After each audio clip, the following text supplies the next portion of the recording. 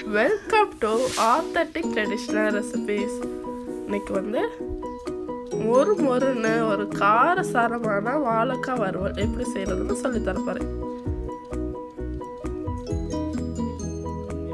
இங்கே ஒரு medium size வாழைக்காய் வந்து நான் நீள நீளமாக கட் பண்ணி வச்சுருக்கேன்.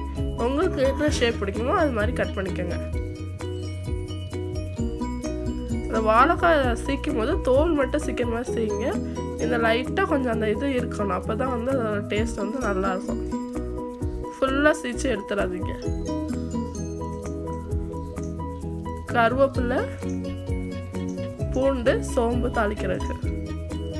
பூண்டு வந்து ஒரு பூண்டு வந்து நான் ஒரு ஃபுல் பூண்டை வந்து நல்லா இடித்து வச்சுருக்கேன். ஒன்று ரெண்டாக இடித்து வச்சுக்கோங்க. அப்போ தான் அது நல்லாயிருக்கும். ஒரு டீஸ்பூன் மிளகாய்த்தூள் ஹாஃப் டீஸ்பூன் மஞ்சள் தூள் உப்பு தேவையான அளவு.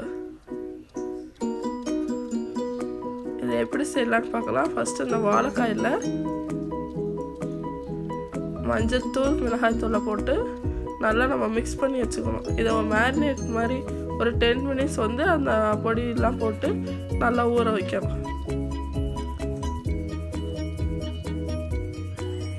தண்ணிலாம் ஊற்றக்கூடாது அப்போ தான் அது கிறிஸ்பியாக வரும். உப்பு போட்டுட்டு இதை நல்லா மிக்ஸ் பண்ணுங்கள் கையாலே நல்லா மிக்ஸ் பண்ணுங்கள் அப்போ தான் எல்லா இடமும் நல்லா பரவும். எல்லா பீஸ்லேயும் வந்து அந்த பொடி மசாலாஸ் எல்லாமே படுற மாதிரி நம்ம வந்து மிக்ஸ் பண்ணணும் தண்ணிலாம் ஊற்றக்கூடாது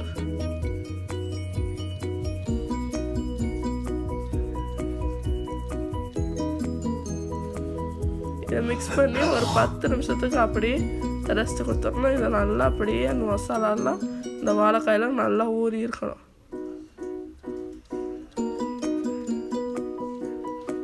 ஒரு கடாய் வச்சுட்டு அதில் வந்து ஒரு மூணு டேபிள் ஸ்பூன் ஆயில் ஊற்றுங்க அப்படி ஊற்றுனா தான் அந்த இது வாழைக்காய் வந்து நல்லா கிறிஸ்பியாக வரும்.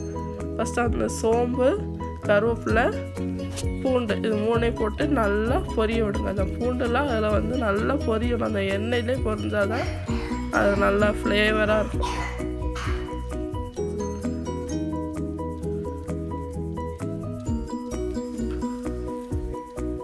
நல்லா பொரியணும்.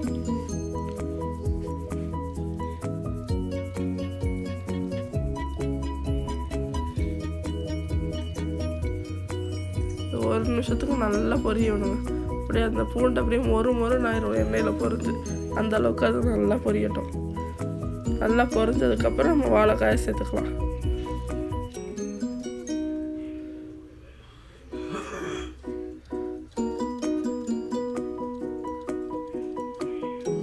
சேர்த்துட்டு நல்லா அந்த எண்ணெயில் நல்லா மிக்ஸ் பண்ணிவிட்டு சிம்மில் வச்சுக்கலாம்.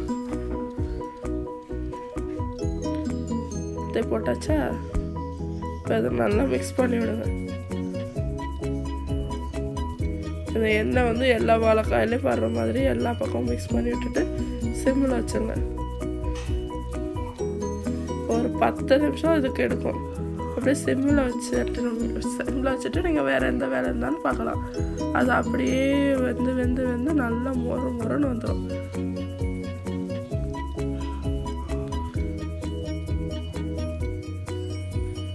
இப்போ நம்ம வாழைக்காயெல்லாம் சூப்பராக ரொம்ப கிறிஸ்பியாக ரெடி ஆயிடுச்சு. ஒரு பார்த்தாலே தெரியும்.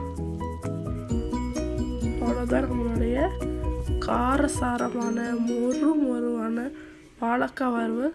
சூப்பராக ரெடி ஆயிடுச்சு. இது ரச சாதம் தயிர் சாதம் சாம்பார் சாதம் கூட சூப்பராக இருக்கும். கண்டிப்பாக அதை ட்ரை பண்ணி பாருங்கள் குட்டீஸ்களுக்கு ரொம்ப பிடிக்கும்.